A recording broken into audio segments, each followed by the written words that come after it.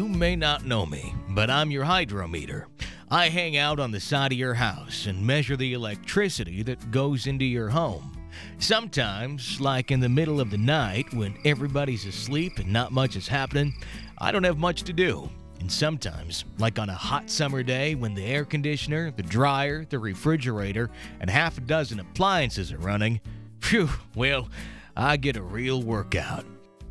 Horizon Utilities safely delivers electricity along those wires you see birds sitting on above your head and through the cables that travel beneath the ground. Now you know what is in those green boxes on people's lawns. I keep a close eye on how much electricity you are using in your home. Someone has to come and look at me every month or two to see how much electricity this house has used.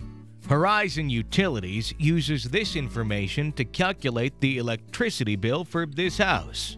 The less you use, the less you pay. Wow, look at that relic. Dials are not so cool. I got here just in time.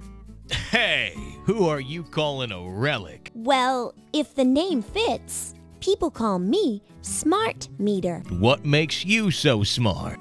I can send information about electricity used in this house to Horizon Utilities electronically. That way, no one needs to drive a vehicle and waste gas to come and read me.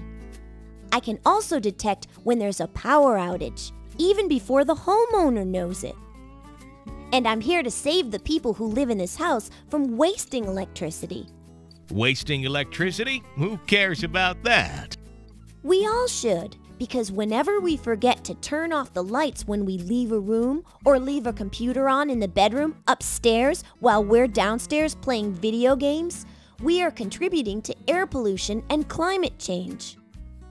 Well, maybe you have a point there. There's more. I not only measure how much electricity is being used in your house, I also measure when you're using it. So you can tell time. Big deal.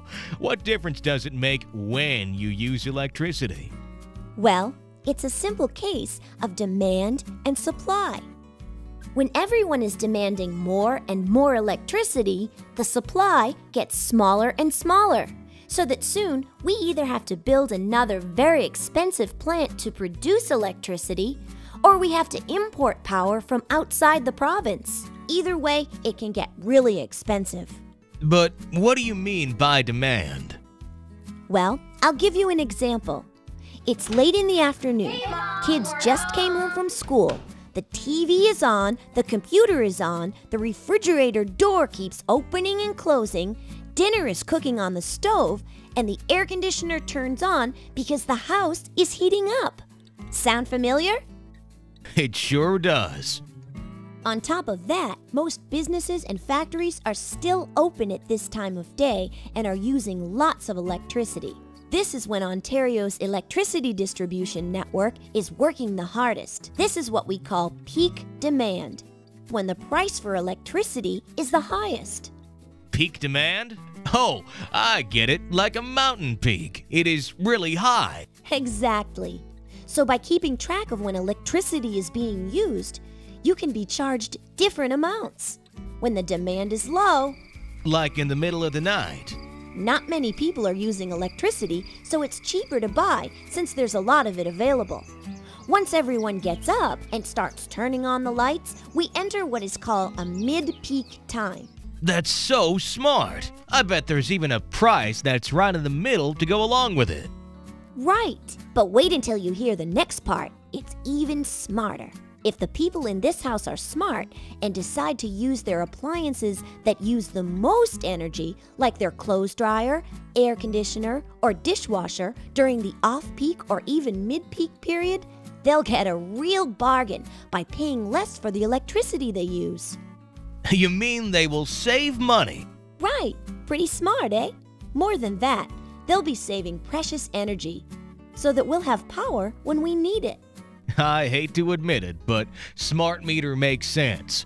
When does this all happen? All homes in Ontario will have smart meters by December 31st, 2010. There's got to be more to it than just that.